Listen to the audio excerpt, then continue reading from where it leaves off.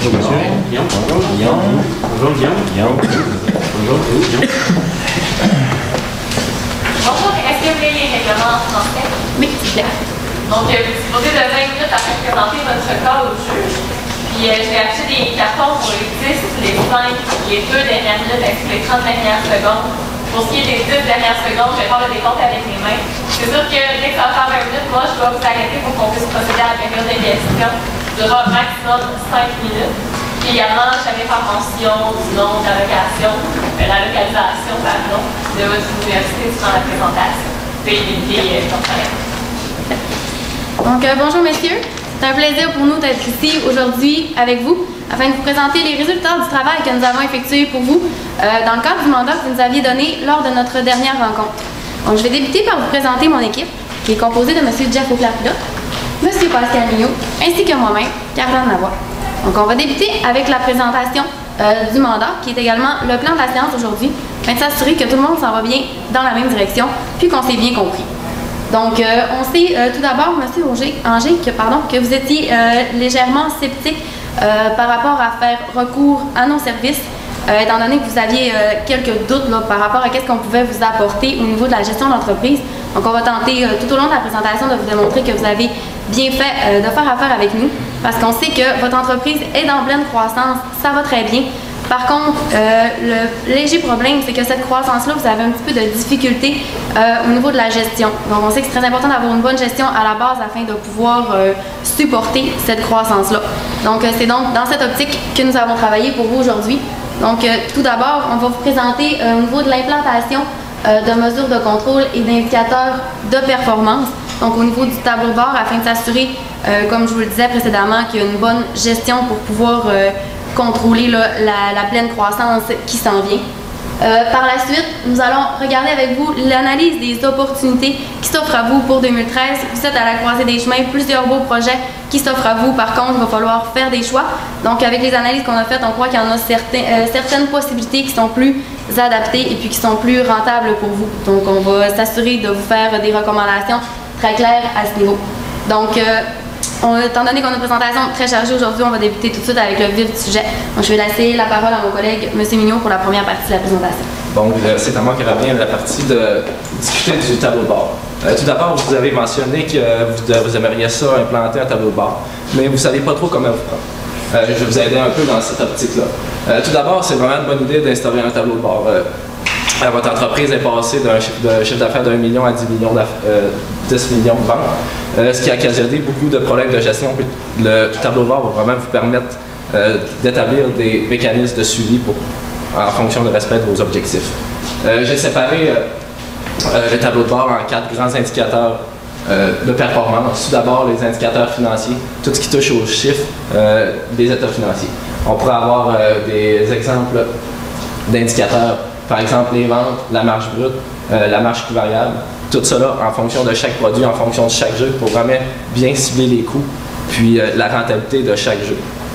Ensuite, euh, les indicateurs clientèle. C'est vraiment important de savoir dans, notre, dans, l'industrie à qui on s'adresse, à c'est qui notre clientèle type. Puis, c'est donc cet indicateur-là va nous apporter vraiment de savoir c'est, l'âge des joueurs. Ensuite, euh, le temps moyen de- des joueurs qui jouent au, au jeu. Ensuite, euh, le nombre de fois qu'ils jouent par semaine. Euh, si vous le permettez, je vais passer au prochain. Euh, non. Précédent. L'indicateur innovation et développement. On sait que vos, entreprises êtes encore présentement petites, vous ne faites pas de R&D, mais ça va devenir un facteur critique dans le futur. Donc, euh, ça sera vraiment important d'établir des mesures de performance, euh, comme par exemple des dépenses R&D pour comparer avec le secteur, pour savoir où qu'on se trouve dans des secteurs de même taille. Finalement, l'indicateur de gestion. Euh, tout ce qui est rapport avec notre personnel à l'interne de l'entreprise, comme par exemple le taux de rotation du personnel, euh, le salaire des employés, puis les heures de travail par vente générée, ce qui permet vraiment de savoir la productivité de nos employés, c'est-à-dire que si un employé travaille fort sur un projet mais que finalement ça ne rapporte pas, bien, ça va nous permettre de bien l'évaluer. Euh, ensuite, euh, vous avez mentionné que vous aimeriez ça instaurer des mesures de contrôle. Euh, encore une fois, c'est très important parce que votre entreprise s'en vient de plus en plus grande, ce qui va faire en sorte que votre, votre, votre, comment je pourrais dire? Votre mission pour l'entreprise va changer. Vous, ne serez plus en mesure de vraiment surveiller vos employés chacun, chacun, un par un. Donc, euh, il faut instaurer de nouveaux indicateurs, des, mesures de contrôle. Euh, tout d'abord, euh, on pourrait installer un système de feuilles de temps. Ensuite, la planification des heures de travail, c'est-à-dire que présentement, vos, employés arrivent le matin et travaillent sur le projet qu'ils désirent. C'est peut-être pas la mesure, la meilleure façon de faire, parce que, comme vous nous l'avez mentionné, euh, il y a beaucoup de projets qui tombent à l'eau. Donc, une meilleure planification du travail pourrait permettre de développer plus euh, de jeux. Ensuite, euh, vu que l'entreprise grossit, encore une fois, c'est vraiment important de mettre en place des contrôles internes généraux. Euh, c'est pas une liste, exhaustive. C'est quelques exemples pour vous illustrer mon point. Tout d'abord, la séparation des tâches incompatibles, une double signature des chèques, la conciliation bancaire, la conciliation des salaires. Euh, puis finalement, euh, j'aimerais passer avec vous quelques petits points que nous avons dénotés pour euh, de- des petits problèmes. Tout d'abord, ça serait vraiment important d'embaucher un comptable. Votre, responsable des tâches administratives est débordé.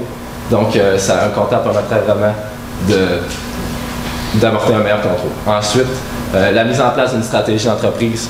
Euh, ça, c'est la base de votre, stratégie, votre entreprise grossit. C'est vraiment important de savoir où est-ce que vous voulez vous trouver dans le futur. C'est ce que cela va vous permettre. Ensuite, la mise en place d'un système comptable. Présentement, vous êtes juste en mesure de savoir c'est quoi vos ventes euh, par rapport à Apple Store qui vous donne les données. Ça serait vraiment important d'avoir un système comptable qui pourrait permettre de savoir les ventes proviennent de où, ça coûtait combien pour avoir une meilleure analyse des coûts. Ensuite, euh, la mise en place d'un conseil d'administration. Euh, nous avons aussi trouvé une problématique au niveau des ressources humaines. Vos, vos, euh, employés sont surchargés, ainsi que vous aussi. Euh, pour avoir une croissance soutenable à long terme, c'est vraiment important de régler ce problème-là. Euh, vous avez usé beaucoup vos, employés dans la dernière année avec des heures de travail euh, importantes. Puis, euh, si on veut continuer à croître de la même façon, euh, ça ne sera pas soutenable. Euh, finalement, euh, le déménagement des locaux. Présentement, vous êtes dans un local de, de 15 places disponibles, de 18 places disponibles. Vous avez 15 employés avec la croissance qui, euh, s'en vient. euh, ça va être iné- inévitable de déménager. Puis, euh, dans l'analyse de- des projets, on n'a pas pris en compte ces coûts-là parce qu'on se dit que peu importe ce qui va arriver, il va falloir déménager d'une façon ou d'une autre. Je vais maintenant passer la parole à mon collègue Jeff. En fait, moi, ce que je vais faire, c'est analyser un petit peu vos options comme vous avez mis. Euh, en fait, les options qui euh, sont euh, quand même assez importantes, vous avez cinq options que vous nous avez proposé cinq options pour 2013. Les options sont ici.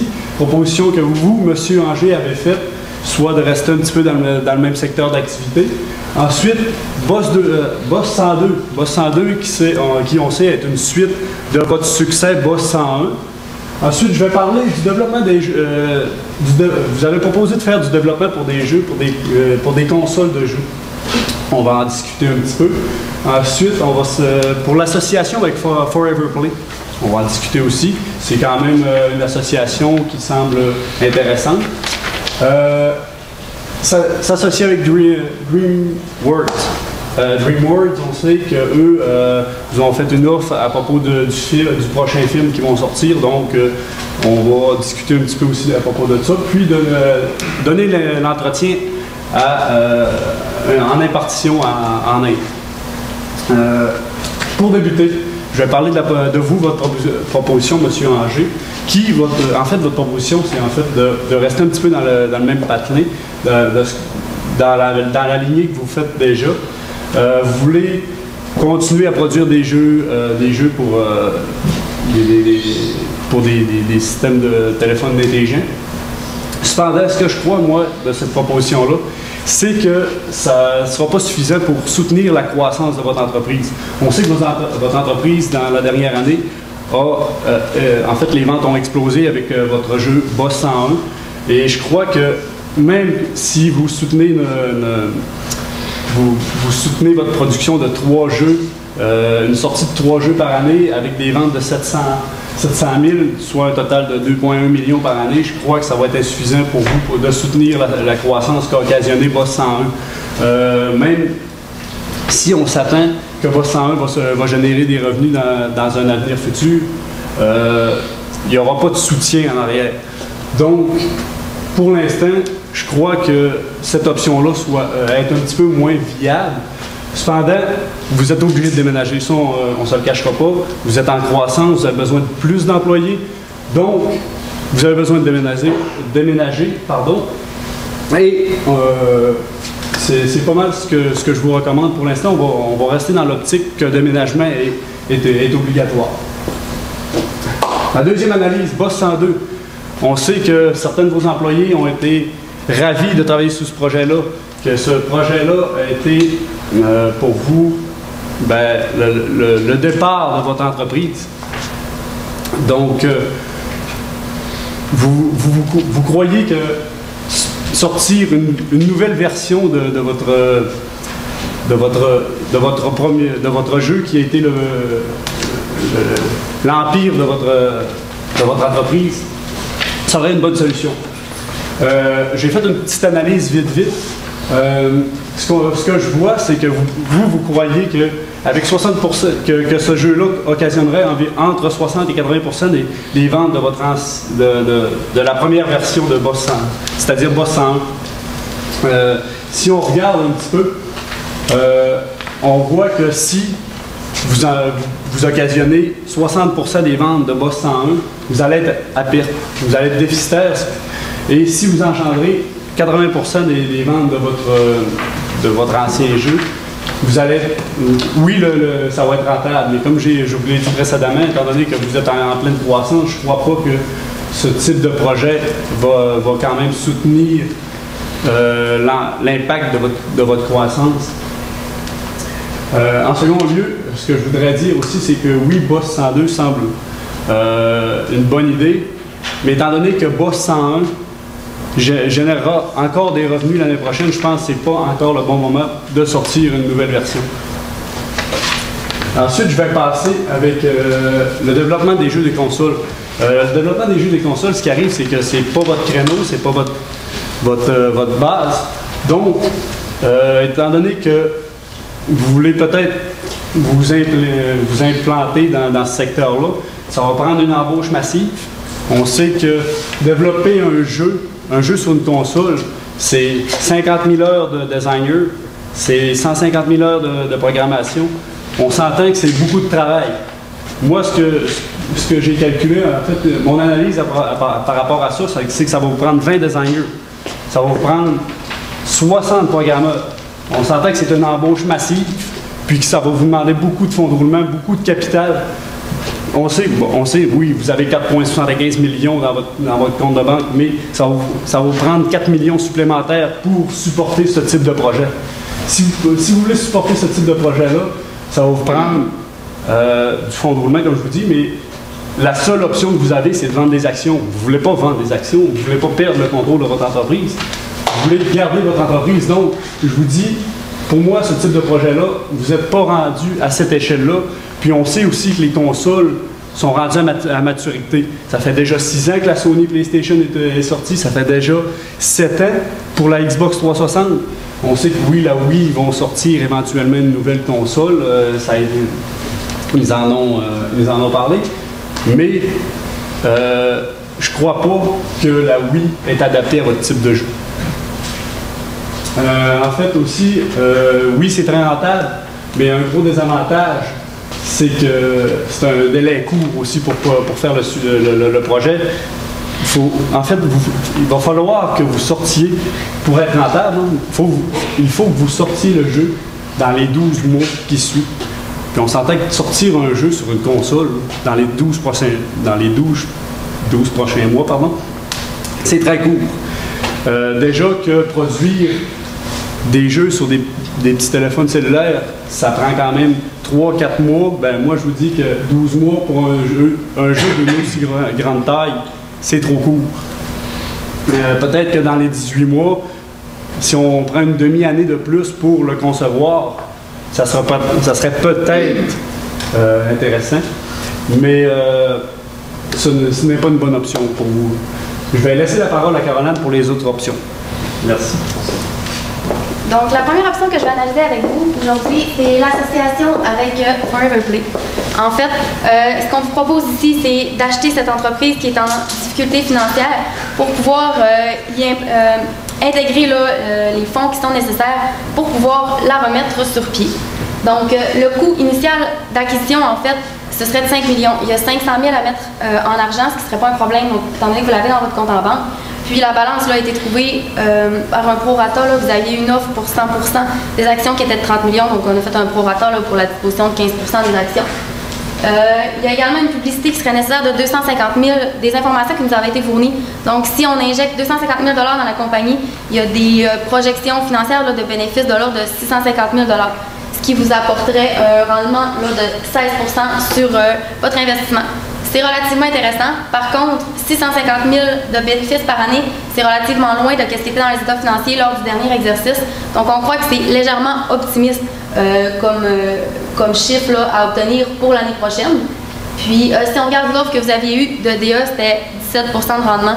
Donc, c'est relativement semblable avec le 16% que vous obtiendrez avec cette offre. Puis, il y a également là, les passifs de 195 000 qui sont dans les états financiers euh, de la compagnie Forever Play. Et puis, là, il n'y a pas beaucoup d'actifs pour compenser ces passifs qui sont à payer. Euh, au niveau plus qualitatif, un peu, si on regarde, il y a l'expérience de M. Normand qui pourrait être intéressante à l'acquérir. Ça fait longtemps qu'il est dans le domaine. Donc, euh, ça pourrait être intéressant de pouvoir travailler avec lui. Il y a la possibilité de pouvoir utiliser ses employés. Si jamais ces projets ne fonctionnent pas, vous pourriez utiliser ces employés qui sont très bien formés pour pouvoir faire vos propres projets. Puis comme je vous l'ai mentionné, c'est risqué étant donné qu'on trouve que 650 000, c'est légèrement optimiste. Puis euh, comme c'est une entreprise qui est en difficulté financière, par contre, euh, c'est vous là, qui avez euh, vraiment le jeu pour pouvoir aller négocier. Vous pourriez négocier un prix d'achat légèrement moins élevé. Par contre, c'est pas là, une option qu'on va considérer à court terme. Donc, si on va regarder euh, au niveau de l'association avec DreamWorks, en fait, ce serait de produire euh, un jeu vidéo pour téléphone intelligent euh, à propos du film qui va sortir prochainement. Donc, selon nos calculs, vous pouvez le voir les détails dans le rapport écrit qui va vous être fourni. Ce serait environ 1 700 000 de revenus pour des, un profit total de 1 500 000 si on a considéré là, les heures euh, au niveau des designers et de la production. On est allé sur les bases des informations qu'on avait pour vos employés euh, au, euh, au nombre que vous les payez présentement. Et puis, on a calculé aussi là, avec un minimum de ventes, étant donné que, en fait, on avait des données selon les gens qui vont aller voir le film, il y a un certain pourcentage d'entre eux qui vont acheter votre jeu vidéo. Puis si on est allé avec vraiment là, les prévisions minimum, vous devriez avoir 650 000 achats. Puis pour couvrir les frais fixes des salaires puis des autres coûts de 10% c'est seulement 110 000 fois que vous devriez euh, avoir, que les gens devraient acheter. Donc il y a quand même une marge euh, assez intéressante. Donc c'est pas un projet qui est très risqué. Puis c'est un projet qui est euh, relativement rentable et à court terme. Donc c'est un projet qui va vous être recommandé d'aller de l'avant avec celui-ci pour 2013. Donc euh, comme je vous disais, euh, en fait, DreamWorks, c'est une compagnie qui est très solide. Donc, 90% de ses films fonctionnent vraiment comme prévu. Donc, ça diminue encore une fois le risque. Euh, vous devriez engager du nouveau personnel, étant donné que ce vous avez, le personnel que vous avez présentement n'est pas suffisant. Euh, puis, ça pourrait vous permettre de faire une diversification au niveau des activités, puis ça pourrait vous permettre de diminuer le risque parce qu'on sait que vous êtes dans un secteur très risqué. Donc, d'aller dans un nouveau créneau, là, ça pourrait vraiment vous aider à ce niveau-là. Donc, au niveau de l'impartition, si on va regarder ça euh, rapidement, je vais vous éviter les chiffres. En fait, euh, vous auriez là une économie de 21 000 par année par rapport à ce que vous avez présentement. Par contre, on trouve que c'est risqué d'aller vraiment à, l'extérieur, dans un autre pays. Il y a des barrières au niveau de la langue, au niveau du décalage horaire. C'est pas vous qui allez continuer, donc vous n'êtes pas certain de la qualité. Donc, euh, on vous recommande là, d'aller avec l'impartition. On vous recommande de garder ça vraiment à l'interne pour pouvoir garder un plein contrôle sur la qualité de l'entretien. Donc, si on y va au niveau des recommandations pour les suggestions, ce qu'on vous recommande, c'est de continuer vos activités que vous avez présentement comme la première proposition et puis de faire l'association avec DreamWorks qui est un profit relativement assuré et à court terme. Donc, euh, ça ne demande pas de financement important. Euh, vous n'aurez pas besoin de disposer d'actions pour avoir cet argent. Et puis, ça vous permet également de diminuer votre risque étant donné que vous une diversification de créneaux. Donc, en conclusion, on va faire un bref résumé euh, de la présentation. En fait, au niveau de la performance et de la gestion, ce qu'on recommande, c'est d'établir un tableau de bord efficace. Euh, de, le faire, de faire ça à court terme parce que c'est vraiment important d'avoir une bonne base de gestion avant de pouvoir continuer euh, la croissance qui s'en vient pour 2013. Puis euh, d'engager un, un comptable à l'interne, ça pourrait vraiment vous aider à ce niveau-là à maintenir les contrôles au jour le jour. Puis les opportunités pour 2013, donc comme je vous l'ai présenté, les deux suggestions qu'on vous recommande de faire pour la prochaine année. Et puis de ne pas aller avec l'impartition, comme je vous le disais, pour conserver euh, le contrôle de la qualité à l'interne. Donc je vous remercie beaucoup pour le temps que vous nous avez accordé. Puis ça me fait un plaisir de travailler pour vous euh, aujourd'hui. On reste disponible si jamais vous avez des questions.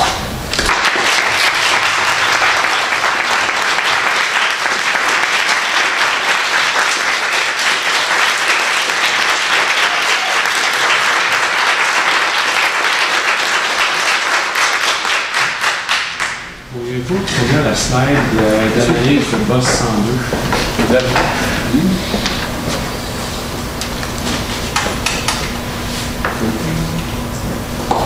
Pouvez-vous expliquer comment vous arrivez à, vingt- des, à 585 000 puis 780 000 de, ventes? Euh, Ça, en fait, ben, 585 000, peut-être une erreur de frappe au niveau de, du, euh, pardon, du, PowerPoint. Mais euh, en fait, les, les ventes que j'ai faites, c'est soit simplement 60% des ventes de, des ventes de, De boss 102. de, de Boss 1. là. Ça se peut qu'il y ait une, une erreur de frappe, là. c'est peut-être euh, moi, là, mais Si, euh, mettons, le- sinon on a euh, 9 millions de, de ventes, donc 60% il probablement, il manque un zéro là-dedans. Euh, comment est-ce que ça change votre analyse si on, on fait environ, euh, quoi, 500, 500, 5 millions moins 3, moins 1 million et demi, donc environ 3,5 millions, est-ce que ça change votre analyse euh, de, la situation? Est-ce qu'on devrait aller avec ce projet-là? Ben, c'est certain que, là, je vois, je vois l'erreur. Euh, oui, mais euh, c'est certain que en, en voyant que ça produit 3,5 millions de revenus, c'est sûr que ça change un petit peu notre vision du projet. Mais euh, comme je vous dis, là, Boss 1 va générer encore des revenus en 2013. Puis, comme vous, comme vous l'avez vous l'avez euh, vous l'avez mentionné, ça va être des revenus qui sont quand même assez importants. On parlait, je crois, de 11 millions. Puis euh, 11 millions, on s'entend que c'est encore des, bons, des très bons revenus, sa- sachant que vous n'avez déjà ben, peut-être un petit peu d'entretien de maintenance sur euh, le projet qui est déjà implanté. Ça va générer quand même des revenus assez importants. Je crois que Boss 2, Boss 102, pardon, devrait peut-être être retardé un petit peu pour éventuellement être sorti. C'est sûr que ça va être euh, un succès si euh, il- Boss 101 tient toujours le coup. Et Boss 102, pour le moment, c'est vraiment pas le temps de le sortir. OK. Je vais, je vais creuser un petit peu sur ce slide-là, parce que c'est vraiment une question de rentabilité notamment. Oui. Si on regarde les coûts que vous avez euh, prévus pour Boss 102, j'ai l'impression que ça correspond à peu près à l'ensemble de la masse salariale de la compagnie sur un an. C'est le cas, ça veut dire que toute la compagnie travaille sur ce jeu-là qu'on ne peut pas faire les trois autres projets qui étaient prévus. En fait, comme vous l'a mentionné, c'est que tous les projets puis toutes les suggestions que vous nous avez faites vont nécessiter l'embauche de personnel supplémentaire parce que présentement, vous sortez environ de 3 à 4 jeux par année avec le personnel que vous avez. puis Vous avez déjà les trois projets qui, sont, qui ont été acceptés puis qui vont être faits. Donc, toutes les suggestions là, nécessitaient vraiment une embauche euh, d'employés supplémentaires parce que présentement, vous pouvez seulement là, couvrir les trois premiers projets.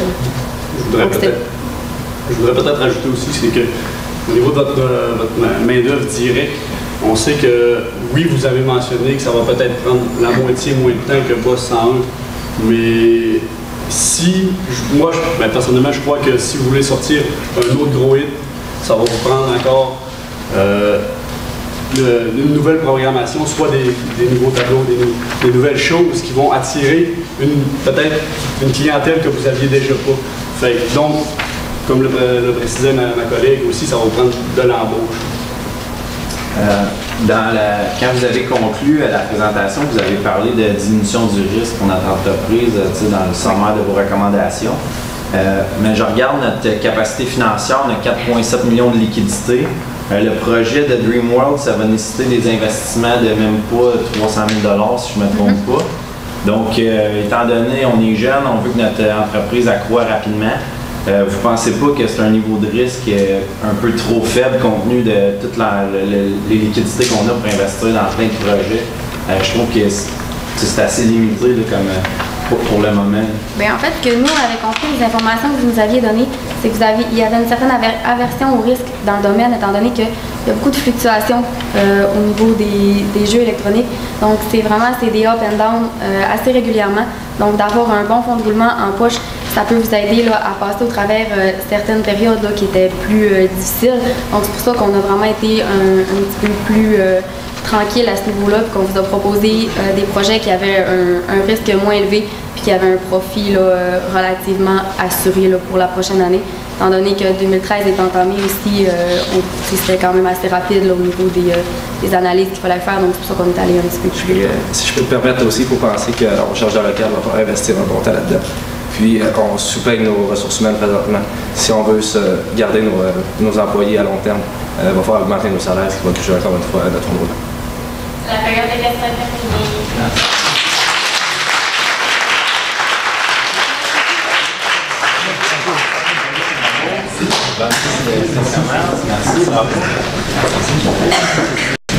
Thank